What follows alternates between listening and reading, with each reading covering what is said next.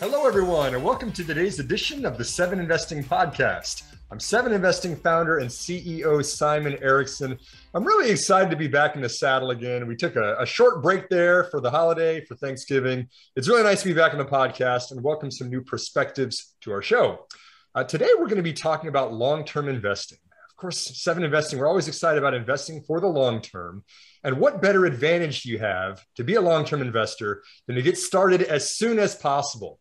And so I'm very excited to welcome my guests today. Maya and Soren Peterson are both investors. They're both very young investors. And we're going to be talking about the power of compounding and getting started with investing at an early age. Uh, Maya, first and foremost, welcome to the show.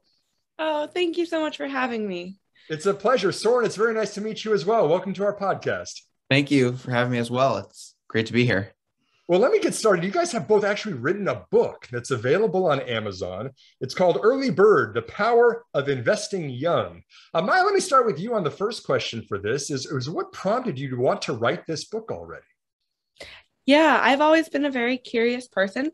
Um, so when I was about nine, I started investing uh, and I was handed Growing Money um, by Gail Karlitz.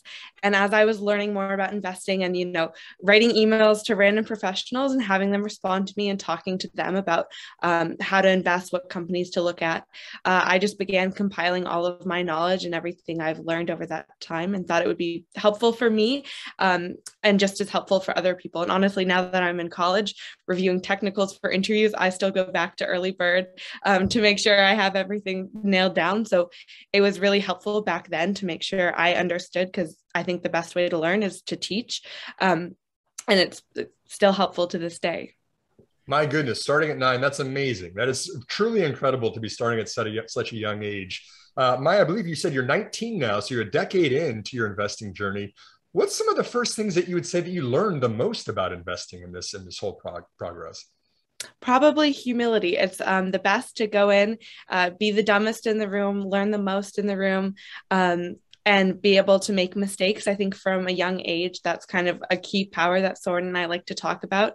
Um, if you're young and you're only investing $25 and that money would have otherwise be spent on like candy or hot chocolate or coffee or something like that, there's not a lot at stake or at risk. And so it's better to learn um, what's good investments, what's bad, how you, um, and what mistakes you've made with that money too. So that's definitely something I learned from you. Maya, I love that advice. I love, I love the quote about being the dumbest person in the room that's the, definitely the way that you get smarter about things. Uh, Soren, one thing that I know that that, uh, that you contributed to the book was a lot of interviews with some really high-profile other investors. Uh, can you talk a little bit about those and also what you learned from them along the way?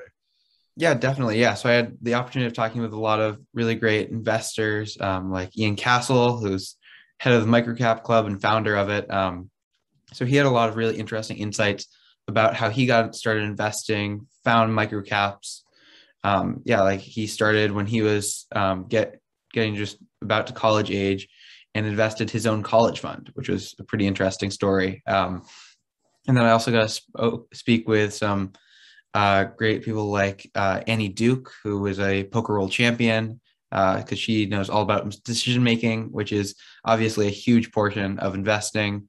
So that was really a great opportunity as well. And also, uh, last but definitely not least, we also have um, Emily McCormick, who is a banking master going into uh, one of the most complicated industries and describing it very simply so that's very easy under, to understand.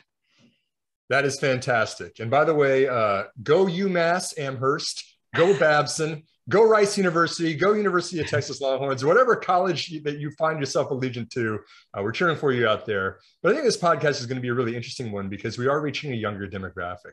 A lot of people who are either 17 years old or 19 years old or kind of right there in college might not be thinking about investing.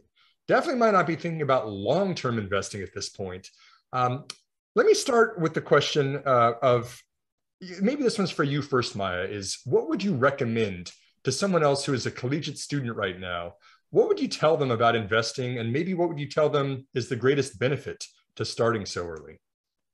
Yeah, well, I would echo what I said earlier. Um, just to start, if you start and start with a couple dollars um, and start looking around your dorm, uh, I have my Brita filter in front of me. I have my honey. I have all of these things, you know, looking at the companies that are surrounding you um, within college, things that you use every day, if it's computers, if it's Apple, um, if it's the food and where your food is coming from. And so trying to um, look around you and just discover different companies um, and just be curious and take college as a way to learn about all ways of your life including investing. Um, and i think it would just be very helpful to also foster conversations if you want to start a little investment club if they don't have one um, even to join in and be a part of the conversation and listen in. I think it's a really great place to learn. Um, but of course right now college is it's very hard. It's a lot of uh, you know uh, draws on every part of aspect of your life. Um, so saving, of course, is incredibly important. And I know there's a lot of support systems in college too. Um, like we have different uh, instructors that can help you go through and budget and stuff like that. And so finding support systems too to help you learn how to invest and how to allocate your money that will best fit for you. Maya, that's very refreshing. It's something that our audience would definitely support everything that you just said. But let's walk into your world a little bit here. You know, you're a university student. I'm sure that when you say things like that to other students that might not be thinking about investing, I would imagine there's some pushback. You know, people have got to spend their money on beer money or something else other than investing in the stock market. How would you say other students uh, that are 19, 20 years old think about stocks and think about investing right now? Yeah, well, I think it's definitely the uh, GameStop and all of those things that are headlines on the news. Um, less when I start talking about, you know, Ollie's Bargain Outlet or something, some little niche company, they're not as excited to talk about it. Um, but just saving one extra dollar if you're going to go get your mocha latte, maybe get it with normal milk, or maybe don't get the extra pump and save a couple extra dollars here or there. Um, and then when you feel confident enough to invest, you have that money um, and that little um, uh, what rain fund, rainy day fund, or something like that to chip in. Um, but just to start working at it every day. I know days go by really quickly, but they really do count. Um, and so I, I, I think it's probably important. Yeah. So on the same question for you. You know, uh, Maya kind of alluded to the the GameStop and the AMC and the Wall Street bets and the diamond hands and the YOLO and all the things that have kind of taken center stage this last year. It seems like there is a power of the crowds now. It seems like there is an interest in learning about investing. What are you seeing, Soren? Is in terms of being a high schooler right now, are other high schoolers interested in the investing in investing in the stock market, or or kind of what's your lay on how things look out there? Definitely. Um, yeah. So for high school students, I find there's a lot more interest in it, but there's definitely not much more information about it, or at least most people don't educate themselves more about investing in general, especially not long term investing. It's all about short term gains and things like that. Um, I think my goal has just been to try to turn that into more of a long term pursuit because people think, oh, 5% or even 1% is nothing. Like that's not that good of a return. But if you go and look at the compound interest over time, that's obviously a lot higher. Um, I tried to demonstrate that in one of the chapters in the book um, that I got to write for the second edition called How to Retire from a Summer Job, where I went through and did the math of if you made $5,000 in a summer for five summers and just invested all that money, that you could go and retire at the age of 65 just from that money alone. That is fantastic. The power of compounding. It's not just about getting in and out within a couple of months or days or hours. Uh, but sticking to the course, when you when you have the power of compounding on your side and you're starting earlier, you're you get a, huge benefit from doing that. Uh, let's talk about stocks. Let's change gears a little bit and talk about some companies that we like out there. Uh, there's a zillion different ways to be an investor. There's a zillion different ways to be an analyst. Soren, how about you? What, what is a company that you are interested in or that you've invested in, and why did you pick them?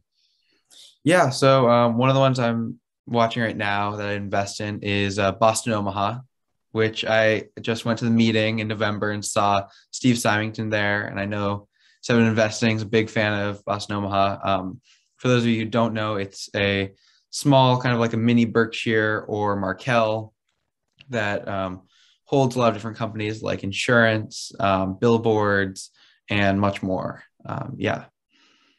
And what drew you to that investment? What, what made you want to invest in Boston Omaha? Yeah, um, I don't remember. I think I heard about it from my dad or someone, but uh, it was just a really interesting opportunity. It's run by these two young guys, um, Adam and Alex, uh, out of Omaha, Nebraska, and Boston, um, where it gets its name from. And it just seemed really interesting um, that they were trying to do something different. Like there aren't that many companies really structured the way they're structured, having like a core business that pays them a lot of cash in the form of billboards, using insurance as a way to invest that, and now finding more and more new businesses like fiber optics, broadband, and things like that as more ways to deploy that capital.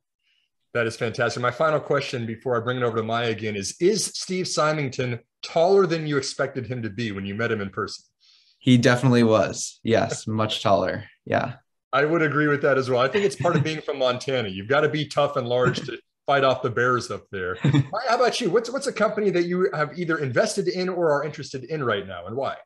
Yeah, so Chewy was brought to my attention ago attention about a couple months ago, um, and recently they are expanding into pet insurance. I think with Trupanion a couple days or so ago. Um, but I really like them because of their customer service and that like intangible asset sort of a moat that they have. Um, I found it really interesting. I personally like looking at companies very qualitatively. Um, I get very, very attached to them. Um, and so just hearing stories about people, you know, who pet have died from cancer. And so they forgot to um, cancel their auto ship program or something like that. Uh, and then Chewy sends them handwritten letters and flowers and oil paintings um, and really fostering this like personalized community within a very, very large company is pretty unique. Um, and that competitive edge that is something that maybe Amazon, Walmart, um, these bigger companies that are also trying to target that pet market is um, sort of different. So it's a it's an interesting take and something that I've been um, enjoying keeping up with since I've learned about it. Certainly, some good examples there: Boston, Omaha, Chewy. You also mentioned Trupanion. Three companies that are that are all fantastic there. As we kind of wind this down, I do have another question that I wanted to ask both of you which is, uh, you know, we always want to be a long term investor. We always want to say that we're going to buy and hold something indefinitely. But of course, it doesn't always work out that way, that every stock that we buy turns out to be the perfect investment. Uh, Maya, let me start with you on this question is, do you ever get tempted to sell any of the companies that you bought or, or what would be something that you would see that would make you sell a stock? Yeah, um, I I don't think I've sold anything major yet. Um, I have held Mattel through thick and thin. It's not doing too great, but I didn't put a ton of money in it because I started young. So that's sort of the advantage that I was talking about earlier. There's no significant sums, and I've made enough early mistakes with $25 or $10 um, that it hasn't hurt too badly. I've also received a lot of advice that when you're this young, to just kind of wait things out um, and to give it time. And it's kind of better to close your Schwab account or whatever brokerage account and just don't look at it for a little bit.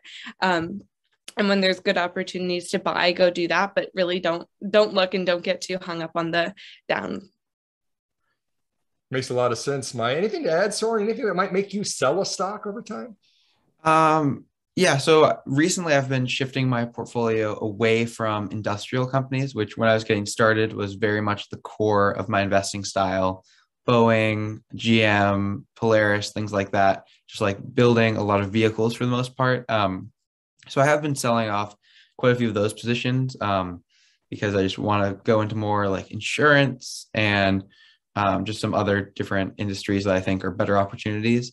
But I haven't really sold any of those at a loss, luckily. Um, and I've held them for five, ten years in some cases. So I feel like I've given them a decent run already. Um, I usually don't think about selling too often. Um, whenever I do, I think of uh, the book 100 Baggers, where they talk about how in order to get a 100 bagger, you usually have to hold it through being down 20% or even more so for extended periods of time before you can actually get that 100 times return. Um, yeah. That's fantastic. And I've got one last question as we, as we, wrap up the show here today. I'll actually answer it first myself to give you all a chance to answer, to think about it because I'm going a bit off script. But I wanted to ask, what is one mistake you've made along the way? Uh, we want to make sure that it's clear to anybody watching the program that no one bats 100% in investing. You're not always going to be right all the time. You're not always going to jump in and know everything immediately. But I'd like to kind of take comfort in having the discussion about realizing that there are mistakes that we make. And maybe we can each all point out one that we run into. Uh, myself, when I started investing, you know, putting myself on the spot here, was jumping in too quickly uh, to what I would consider to be the hype cycle. I looked for things that were in the news, that were in the headlines, that was getting a whole lot of attention, not considering valuations, not considering the fundamental business itself and how they were actually going to capture profits. Uh, because when we talk about investing, we talk about in compounding, we talk about long term. It's really a company is a compounder of your capital. And they've got to find a way to not just grow the top line in revenue, but actually capture profits for shareholders. That's something that I wish that I had known uh, in my first few years of investing. I was just going out and chasing what was making the headlines and the, the top line growth. Uh, Maya, how about you? Is there any mistakes that you can remember that you made kind of early on that you'd like to pass on to other early investors? Yeah in that similar vein i think not asking enough questions. Um, now when i go and research a company i have a whole document of every question. So as i'm going through their 10k um, as i answer another question there's four more that pop up. And so being able to answer all of those and seek out the resources i think also as a woman specifically it can be hard to look for the right resources or want to go ask people um, it can feel intimidating there's imposter syndrome all of those things. And so being able just either when you're researching a company um, when you want to learn more about investing and different people's philosophies being okay with asking questions and um, making your voice heard is something that i'm still trying to learn but definitely have learned along the way. Ask more questions. That's a great one of maya. Anything to add soren? Anything that you've made a mistake along the way? Definitely. Um, yeah i think always asking more questions is great no matter how much research you do. It's always you can always learn more. Um, but for personally, I've made a ton of mistakes. I'd say most notably, often uh, looking for a lot of growth in statistics like ROIC and ROE, as opposed to um, or and not looking as much into price to earnings, price to cash flow, price to book, whatever you're using for a given company, and kind of sacrificing that um, often too much so so I think just waiting for the right price or being okay with letting opportunities go um, is definitely a mistake I've made. Great one. Great one, Soren. You mentioned ROIC, return on invested capital, ROE, return on equity, of course, profitability metrics that show that you're getting a bang for your buck from the companies that you're investing in. Hey, Maya, hey, Soren, this is a lot of fun. Thanks very much for joining me on the Seven Investing Podcast today. Thanks for Thank having, for having us. This was great. I really like to unlock these discussions, and Seven Investing is very committed to the educational component of investing. We do have a student rate that is available for $84 a year for anyone that has a .edu email address.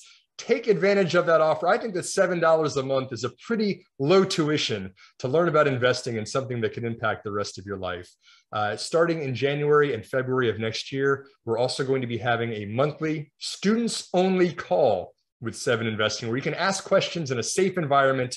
It's okay because there are no dumb questions. We're all in this to learn together and to benefit from investing over the long periods of time. So again, Maya and Soren, Maya and Soren Peterson, um, their book is Early Bird: The Power of Investing Young. It's really a pleasure having both of them on the program here today. Uh, Maya and Soren Peterson, thanks very much for joining me. I really had a lot of fun. Thank you for having us. And thanks everybody for tuning into this edition of our Seven Investing podcast. We are here to empower you to invest in your future. We are Seven Investing.